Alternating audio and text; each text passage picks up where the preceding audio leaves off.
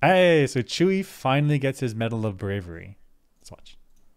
Chewie, this is for you. Hey. Hey. So I think this was because in episode six, Chewie did not. Oh no, episode four. Uh, Chewie did four. not get a medal, right? And everyone else did. Yep. But the thing that was weird here was that he got the medal from Maz Kanata. Like, Yeah. who who is Maz Kanata in terms of the Republic? Like before, before in episode four, Luke, four, Luke and Han got the medal from Leia, right? And Leia is, I think, no, was it? Or is Is, it? is Le- Leia and um, uh, what's the red-headed woman's name from Andor? Uh, Mon Mothma. I Mon think she was like, she was like the non-force user, but ad- leader administrator person. Right. So so effectively like the president if for in terms of American like like the highest Yeah. ranking official gives you the medal and like that that's a pro- and so but who's Maz Kanata in terms of the rebel? Like isn't she like just a random person? Like like, like she's not in command of Uh, anyone, she's not a higher up, she's not like, who, is, who is she? She's a collector of artifacts.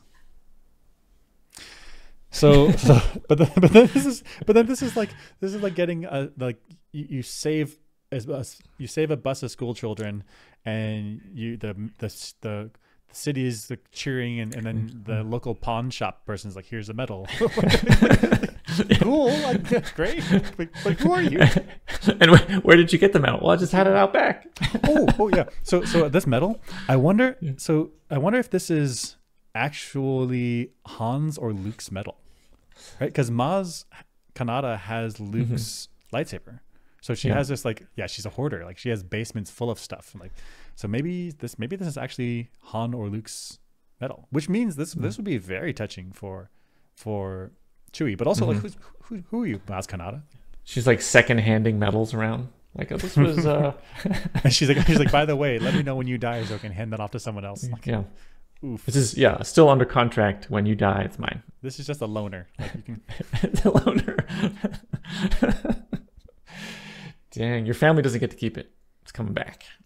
come back. Everything makes its way back to my basement. Yeah. But In fact, in fact, you want a different medal? Because uh, I got I got choice back here. Yeah. I get you the the least blood covered ones. Like you did such a great job, Dang. Chewie. Great job. Such such a great job. Do you need a ceremony? No, I'm just gonna hand it off to you. Okay. That's right. Nobody else sees it happen. so later on, Chewie's like walking around with the medal, like super proud, and everyone's like, "Okay, sure." uh, Okay. Is that is that Luke's medal? Did you even uh, earn did that? you steal that? I didn't. I wouldn't need that back. Chewie, you can't have that. That's Luke's medal. yeah. That's Luke's medal. This belongs in a museum, not around your neck, Chewie. Dang. Brutal.